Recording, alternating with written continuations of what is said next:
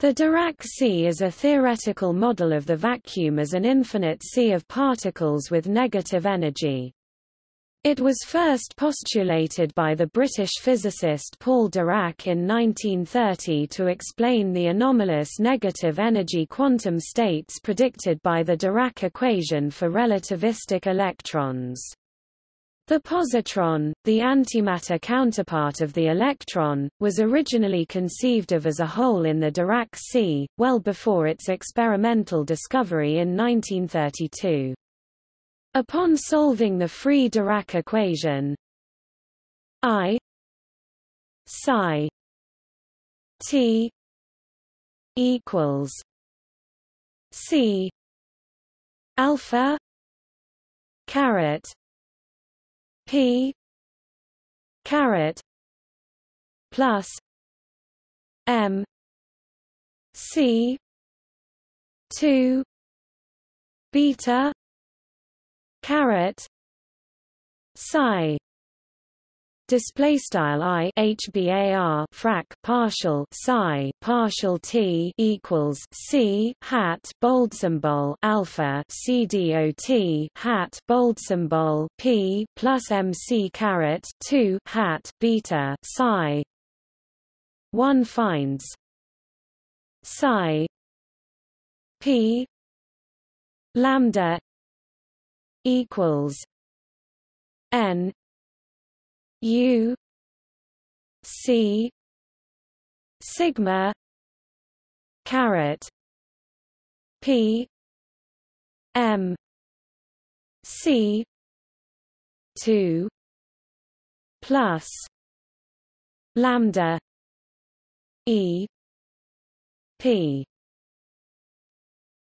U exp I P x minus epsilon t 2 pi 3 display style psi underscore math BF P lambda equals n left begin matrix U frac C hat bold symbol sigma C dot bold symbol P MC caret 2 plus lambda E underscore P U end matrix right frac exp I math BF P C dot math BF X var epsilon T HBAR SQRT 2 pi HBAR caret 3 where? Epsilon equals plus or minus E P E P equals plus C P two plus M two C two lambda equals SGN epsilon display style var epsilon equals pme underscore p quad e underscore p equals plus c sqrt math bf p caret 2 plus m caret 2 c caret 2 quad lambda equals operator name sgn var epsilon for plane wave solutions with three momentum p this is a direct consequence of the relativistic energy-momentum relation. E 2 equals P 2 C 2 plus M 2 C 4 display style e caret 2 equals p caret 2 c caret 2 plus m caret 2 c caret 4 upon which the Dirac equation is built. The quantity u is a constant 2 times 1 column vector and n is a normalization constant. The quantity epsilon is called the time evolution factor, and its interpretation in similar roles in, for example, the plane wave solutions of the Schrödinger equation, is the energy of the wave particle. This interpretation is not immediately available here since it may acquire negative values. A similar situation prevails for the Klein-Gordon equation. In that case, the absolute value of epsilon can be interpreted as the energy of the wave since in the canonical formalism, waves with negative epsilon actually have positive energy EP. But this is not the case with the Dirac equation. The energy in the canonical formalism associated with negative epsilon is EP. In hole theory, the solutions with negative time evolution factors are reinterpreted as representing the positron, discovered by Carl Anderson. The interpretation of this result requires a Dirac sea, showing that the Dirac equation is not merely a combination of special relativity and quantum mechanics, but it also implies that the number of particles cannot be conserved.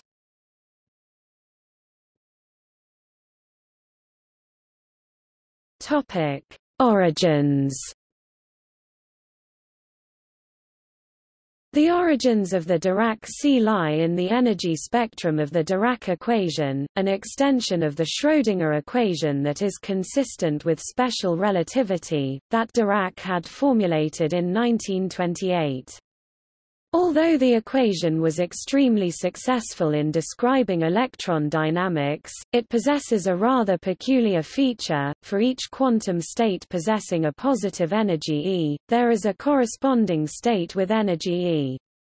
This is not a big difficulty when an isolated electron is considered, because its energy is conserved and negative energy electrons may be left out. However, difficulties arise when effects of the electromagnetic field are considered, because a positive energy electron would be able to shed energy by continuously emitting photons, a process that could continue without limit as the electron descends into lower and lower energy states. Real electrons clearly do not behave in this way. Dirac's solution to this was to turn to the Pauli exclusion principle. Electrons are fermions, and obey the exclusion principle, which means that no two electrons can share a single energy state within an atom. Dirac hypothesized that what we think of as the vacuum is actually the state in which all the negative energy states are filled, and none of the positive energy states. Therefore, if we want to introduce a single electron we would have to put it in a positive energy state, as all the negative energy states are occupied. Furthermore, even if the electron loses energy by emitting photons it would be forbidden from dropping below zero energy. Dirac also pointed out that a situation might exist in which all the negative energy states are occupied except one. This hole in the sea of negative energy electrons would respond to electric fields as though it were a positively charged particle. Initially, Dirac identified this hole as a proton. However, Robert Oppenheimer pointed out that an electron and its hole would be able to annihilate each other, releasing energy on the order of the electron's rest energy in the form of energetic photons. If holes were protons, stable atoms would not exist. Hermann Weyl also noted that a hole should act as though it has the same mass as an electron, whereas the proton is about 2,000 times heavier. The issue was finally resolved in 1932 when the positron was discovered by Carl Anderson, with all the physical properties predicted for the Dirac hole.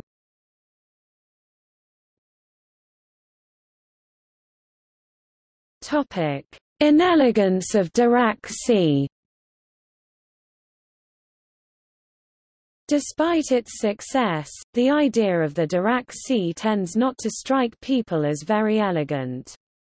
The existence of the sea implies an infinite positive electric charge filling all of space.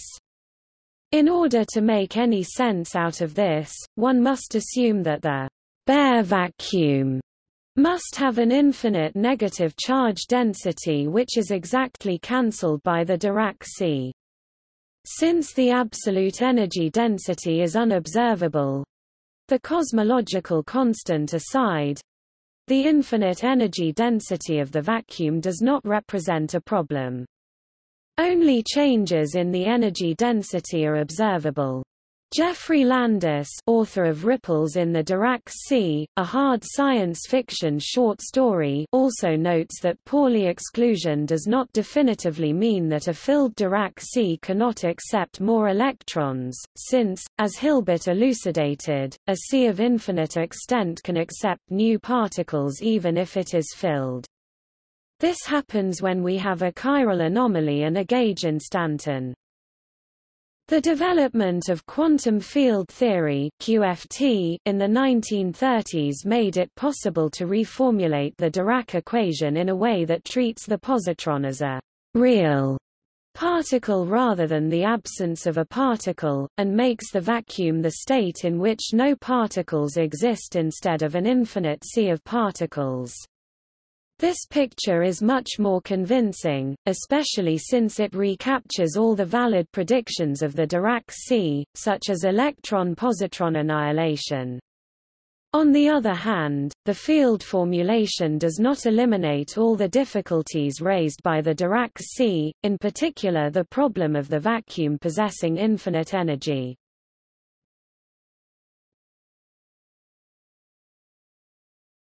Topic: Modern interpretation The Dirac sea interpretation and the modern QFT interpretation are related by what may be thought of as a very simple Bogolyubov transformation, an identification between the creation and annihilation operators of two different free field theories. In the modern interpretation, the field operator for a Dirac spinor is a sum of creation operators and annihilation operators, in a schematic notation.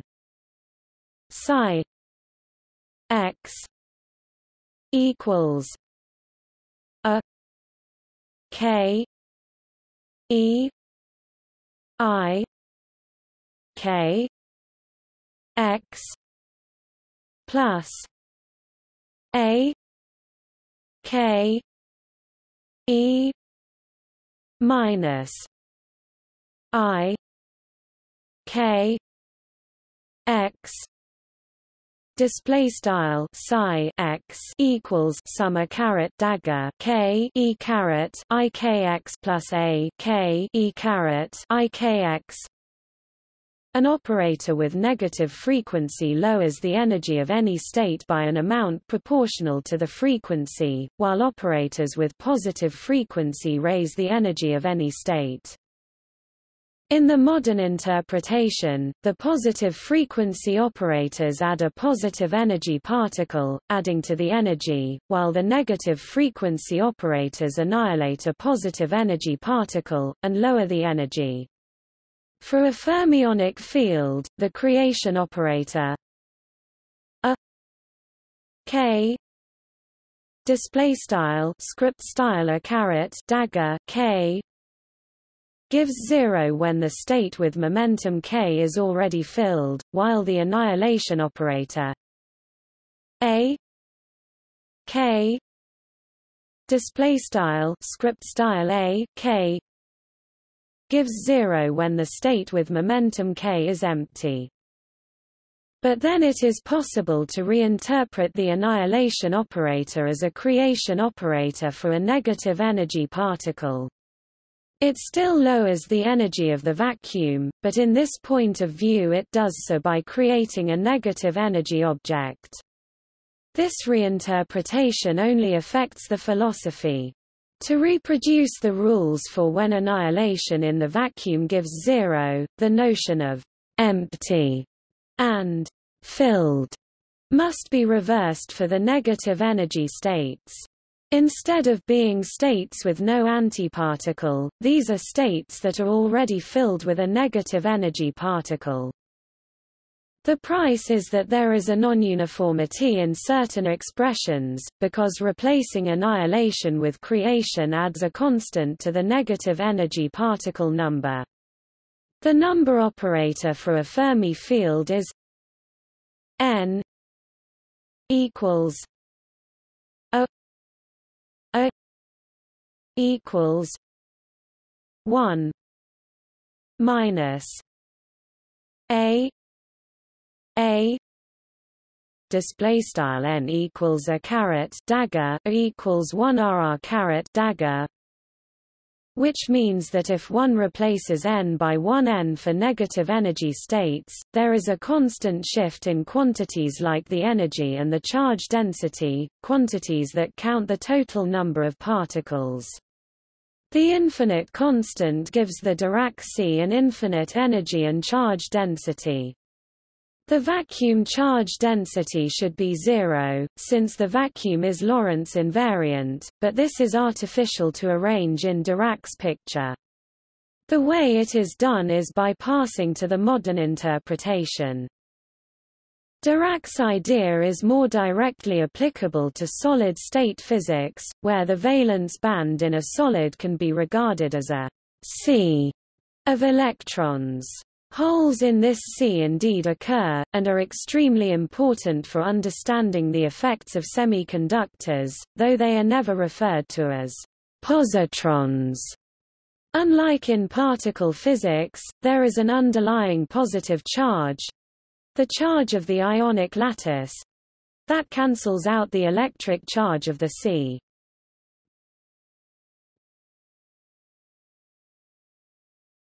Topic Revival in the theory of causal fermion systems Dirac's original concept of a sea of particles was revived in the theory of causal fermion systems, a recent proposal for a unified physical theory. In this approach, the problems of the infinite vacuum energy and infinite charge density of the Dirac sea disappear because these divergences drop out of the physical equations formulated via the causal action principle. These equations do not require a pre-existing space-time, making it possible to realize the concept that space-time and all structures therein arise as a result of the collective interaction of the sea-states with each other and with the additional particles and holes in the sea.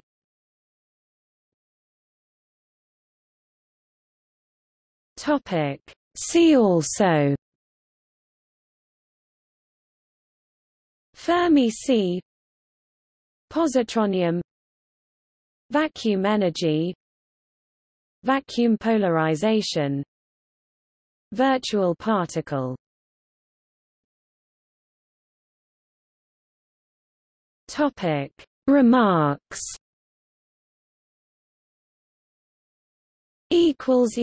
Notes